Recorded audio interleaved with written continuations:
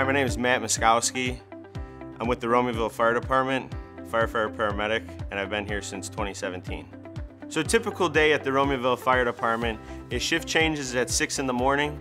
We find out what our riding assignment will be, so whether it's charge, paramedic in charge, or driving the ambulance, or you can be on the engine. We then put our gear on the rig and make sure that everything is in place to where if we do get a call right in the morning, we're ready to go. We figure out what is the topic that we want to train on, whether it's on the fire side or in the EMS side. Us as a department, we get together and we all train together. That way we're more cohesive as, as a unit. We're cross-trained for both being on the ambulance and on the fire engine. Being on the ambulance, uh, we have two positions. One is the paramedic in charge and the other is the ambulance driver. The paramedic in charge is the person that runs the EMS calls and the driver of the ambulance is your partner to back up to run ideas off of if anything is, is going on. If there is a fire and there are patients that need to be cared for, the first in ambulance would take care of, of the patient, and then if there's multiple patients, the second in ambulance uh, will take care of them as well, and they delegate that by severity of the patient.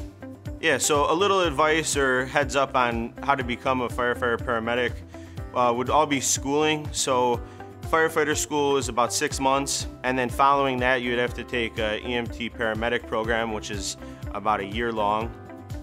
Um, and then the last step would be becoming a firefighter, and we have a program here that's about six months long. Training as a firefighter paramedic really never ends. We're always learning, and we kind of depend on each other to be able to pass on knowledge as a, as a junior guy to a senior guy. We look up to them to be able to pass down that information and just as much as the senior guys look at the, the younger guys that are just learning, they look to us to be able to pass that new information on. Who influences me in my life? First off, my family, uh, my wife, she, she pushes me to be the best that I can be. Um, but a second really big influence, close to the first, is um, my coworkers, my brothers and sisters here at the fire department. Uh, we really rely on each other and we push each other to be the best that we can at the job. I love my job as a firefighter paramedic.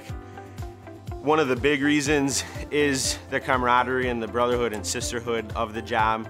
Um, like I said, the, the family aspect of it is second to none and being able to help or assist somebody on potentially the worst day of their life is really fulfilling and rewarding.